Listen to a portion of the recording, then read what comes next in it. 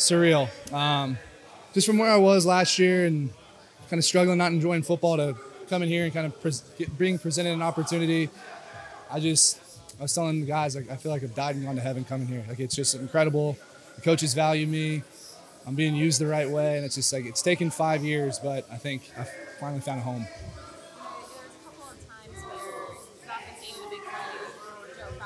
There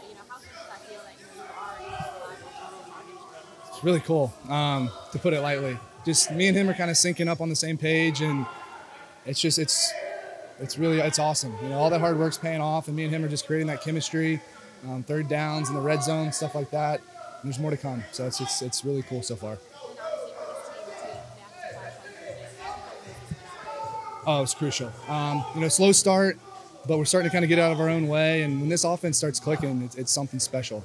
Um, like I said, it's just really fun to be a part of it and be included in it and have some play calls go my way. So, got to keep this thing rolling. How do those explosive plays kind of open you up? I mean, Tee had the big game today. You had a couple other big games. Yeah. And then you were there for the checkdowns. I mean, what does that do for you in your game? Yeah, well, I mean, when they start doubling on the outside and taking those guys away, I mean, it frees up the middle of the field. And I think that's why I was brought here, use my size and my speed, and we started kind of getting into that groove. And like I said, the more me and Joe get on the same page and sync up, he's going to start trusting me. It's going to open those guys up on the outside too. And like I said, that's why I was brought here. What, was the atmosphere like tonight?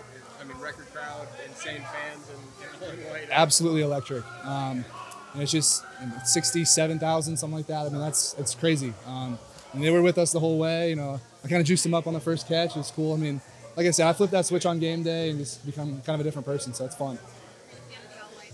Oh, absolutely. It was really cool. I I mean, I let the helmets too. I mean, the whole thing. I mean, the crowd was into it. They were all whited out too. So hopefully we can uh, maybe make that come back a little bit.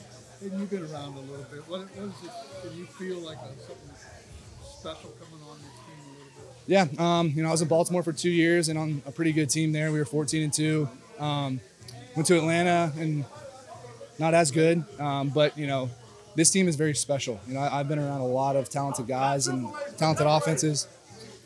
Um, and it's just this is a really good group. Like I said, once we start kind of figuring each other out, syncing up a little bit, creating that chemistry, this is one of the best offenses I've ever seen. Um, like I said, it's just really cool to be a part of it and included in it.